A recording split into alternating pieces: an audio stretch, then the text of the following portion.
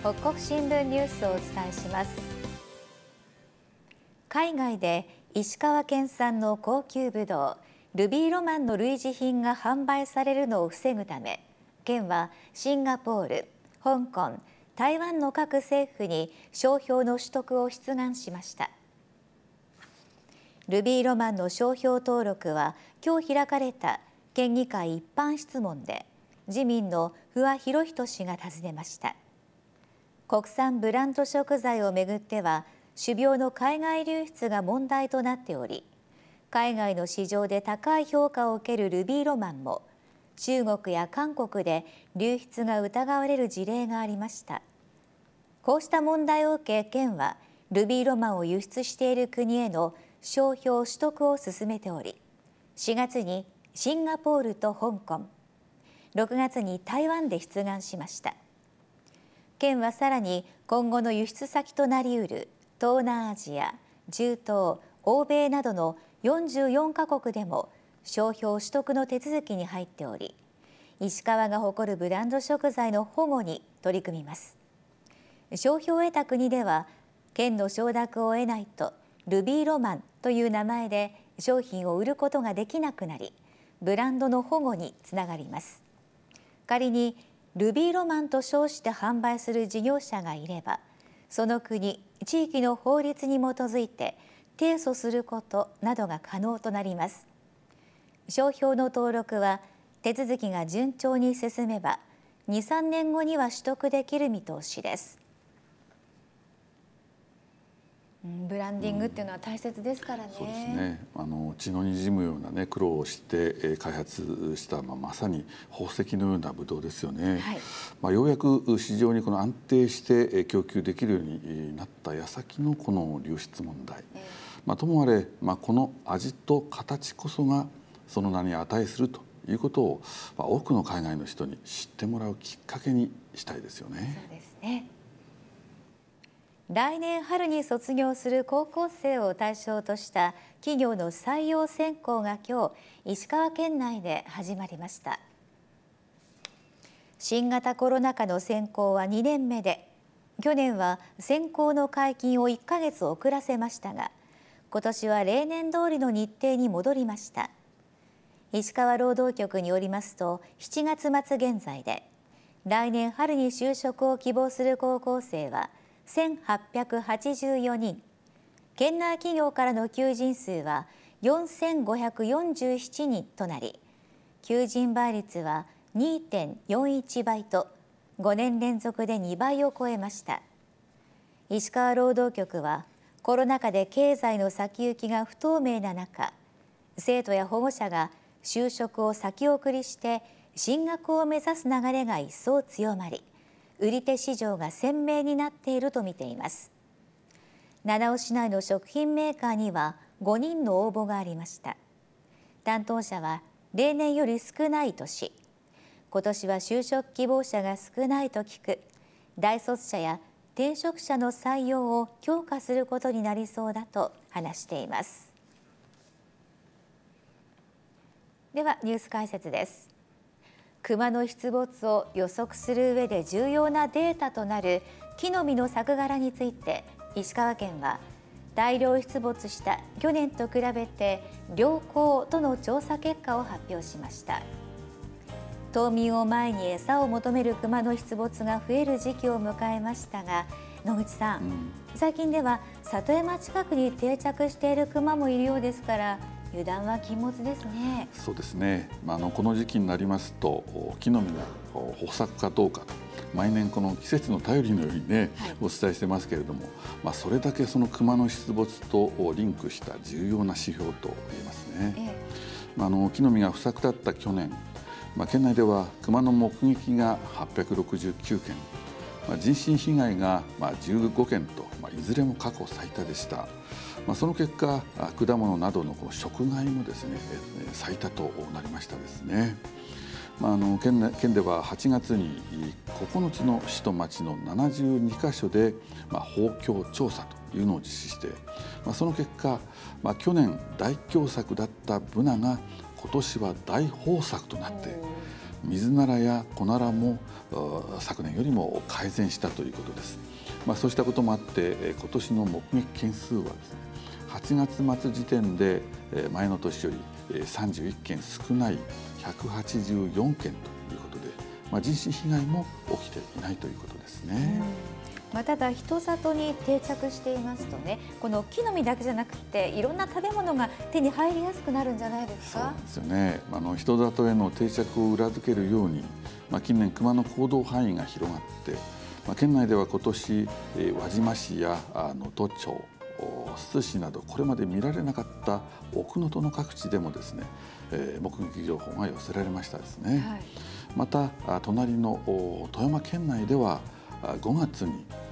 高岡市の高岡高校の敷地内で1頭が見つかって駆除されてますよね。はいまあ、あの目撃情報がなかったエリアや市街地の中心部も、まあ、油断できないという状況になってきてますね。えー、まあ、こうして、え人里に定着していると、まあ、柿や栗時には生ゴミといったですねいろんな食べ物に出会う、まあ、可能性は高くなりますよね。動物ですからね、うん、あると食べたくなりますよねよ。こうしたものを放置しておかないっていう心がけが人間に求められるんでしょうね。まあ、の里山地域ではですね出没の要因となる柿や栗をしっかり収穫し、まあ、生ゴミを放置しないという心がけを徹底したいですね、はい、まあ、さらに隠れ場所になりがちなこの草やぶの除草などにも、まあ、地域ぐるみで取り組んでいくといったようなですね、まあ、先手の対策が求められますね。まあ、自治体によっては、まあ、費用を補助しているところもあります。またあの白山市ではですね柿や栗、まあ、くるみの木の伐採や、まあ、果実の採集などで、えー、地元の、まあ、業者に作業を委託する場合には、まあ、補助金を、まあ、交付するということですね。はい、またその木の実に関してはこの場所によってはこの狭窄のエリアもありますから、まあ、注意が必要だと思いますね。熊に遭遇した時にどうするかということも重要なんですけれど出会わないようにすることがまず最も大切なんじゃないですかね。の人里近くで熊が生息生息しているというそういったことをこうしっかりと認識した上で、はい、まあ、人間の生活圏にまあ近づけないことにまずは取り組んでいきたいですよね。ええ、まあ、木の実の出来にかかわらず、まあ、生ものを廃棄する際のマナーの遵守や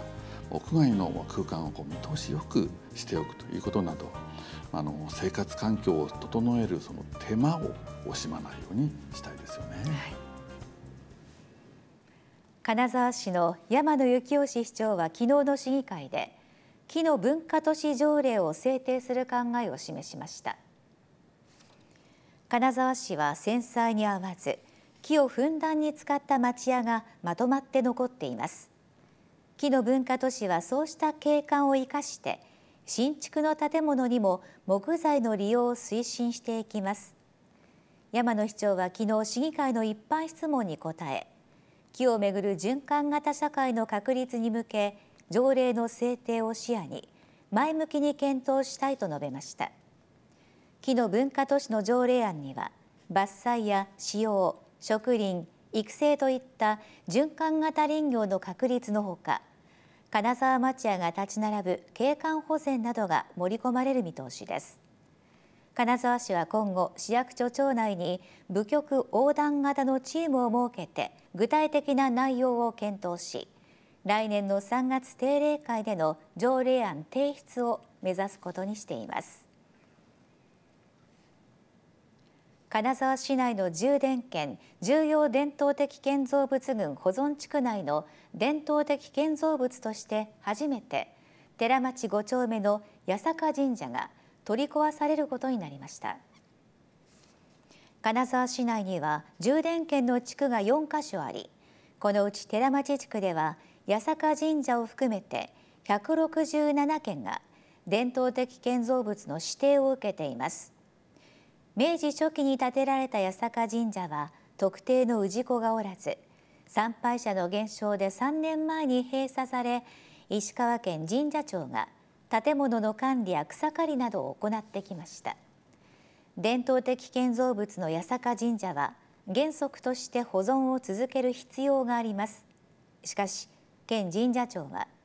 神社としての役割を終え修復する必要性がないとして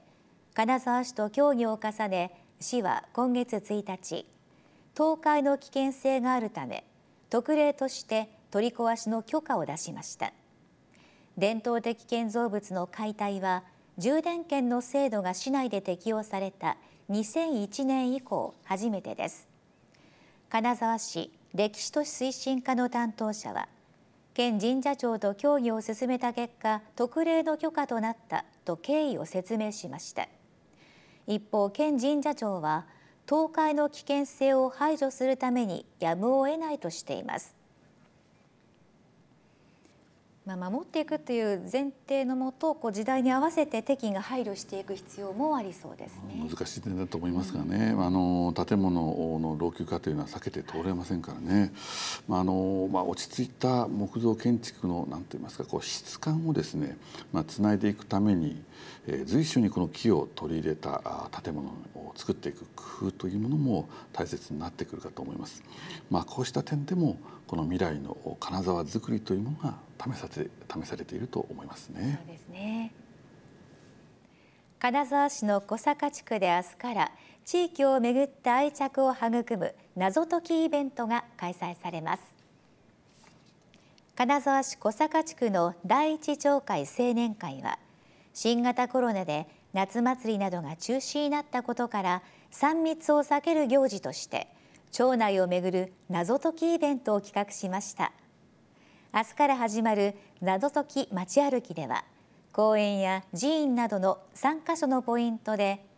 寺の正面にいる動物は？といったクイズを解き楽しみながら地域への愛着を育みます。謎解きはそれぞれの答えを組み合わせると最終問題のキーワードがわかる仕組みになっています。小坂地区の第一町会にはおよそ330世帯が暮らし青年会は回覧板を使って街歩き用のマップを配りました。謎解きの正解者から抽選で35人に県産米100万石やケーキなどが贈られます。青年会の高平健二会長はこのイベントを通して自分の住む町のことを知ってほしいと話しています。津幡町の保育園児が昨日子育て中のツバメを観察させてくれた男性にツバメなどの写真を貼った感謝のうちわを送りました。津幡町南中条の千色場こども園の園児たちは今年4月中旬散歩中にこども園に近い加野義友さん66歳の納屋にツバメが入るところを見つけました。この納屋ではおよそ30羽の親鳥が巣作りしていることが分かり子どもたちが観察を望んだところ加野さんから了解が得られました。園児たちは園の図鑑でツバメの生態を調べた上で毎週のように納屋に通い親鳥がヒナに餌を与える様子や巣立ちなどを7月末まで見守りました。千色場こども園の園児35人は観察できたお礼を伝えようと昨日手作りのツバメの衣装で加野さんを訪ねありがとうございましたと元気に声を合わせました。この子どもたちの訪問に加野さんは来年も見に来てねと笑顔を見せていました。川北町の老人クラブ連合会が昨日町内の公園で清掃活動に取り組みました。この清掃活動は9月20日の社会奉仕の日にちなんで毎年行われています。川北町老人クラブ連合会の役員23人は昨日川北町転場にある明治天皇お休み所公園で